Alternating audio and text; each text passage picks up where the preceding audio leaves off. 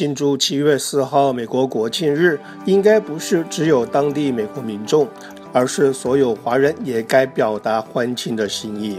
因此，代表休斯顿八十二十促进会的黄登路，周六一早协同 Roger Cover 在 Sharpstown Plaza 召集了热心义工，准备让一百六十面美国国旗飘扬在中国城地区。让主流民众感受亚裔民众同样关心美国重要节庆的心意。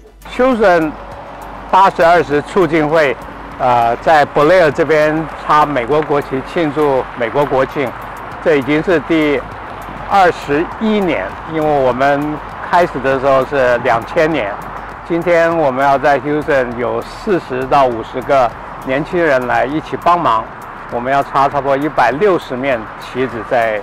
沿着 b o l e 的中国城这边，呃，我希望大家有一个很好的 July Fourth。当天青年团体 Alice Perlin 分部由副会长 Andy 蒋带领该会成员一起帮忙完成今年插旗任务。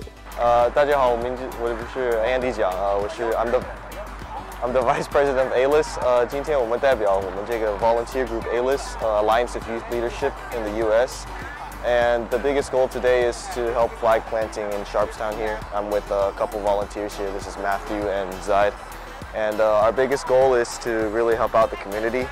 Uh, 我们前几个月做了一些 fundraising 给这个些 events，呃，拿到一个 five thousand dollar grant 从 Hog Foundation，所以这些钱就是用来呃。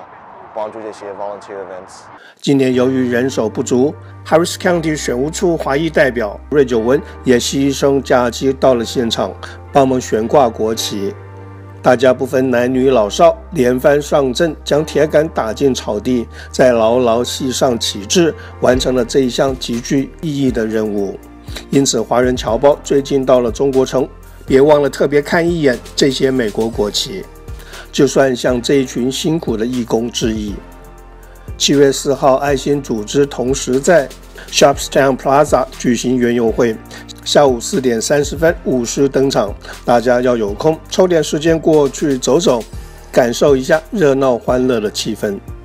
也希望大家来参加我们爱心组织举办的园游会，也替休顺地区的这个贫困的小朋友。